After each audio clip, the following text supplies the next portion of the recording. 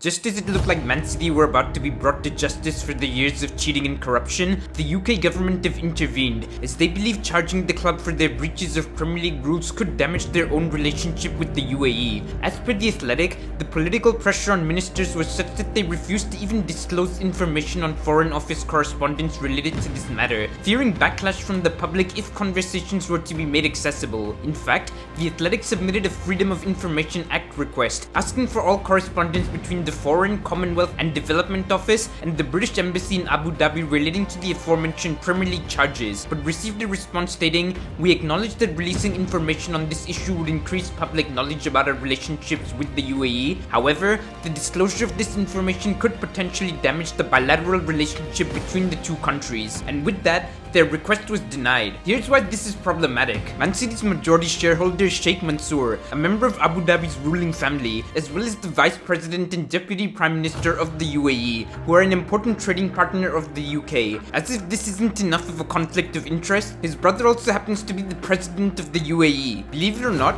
just last month, Britain's Deputy Prime Minister, Oliver Dowden, visited the UAE, a trip the Cabinet Office described as a way of deepening and strengthening our diplomatic and investment ties. This is precisely why allowing state ownership in football was a terrible fucking idea. All people like you and I want to see is entertainment on the pitch in an environment where rules are being followed. Instead, what we're getting at the minute is a hideous sports washing project which is eliminating competition through any means necessary shoved down our throats. It's not the first time politics is undermined the Premier League either. The UK government previously involved itself in football matters back in 2020. At the time, a minister contacted the Premier League's chairman over his initial refusal to allow the Saudi-backed takeover of Newcastle United to go through. Government officials demanded he reverse his decision, given there was an immediate risk to the UK's relationship with Saudi Arabia if the takeover did not succeed. Lo and behold, that's exactly what happened. And the worst is yet to come in that regard, as it's only a matter of time before Newcastle emulates City's model. As much as I hate to say it, I'm slowly falling out of love with the sport. The game has been dying a slow death ever since Abramovich rocked up on these shores in 2003, and this may very well be the final nail in the coffin. At this stage,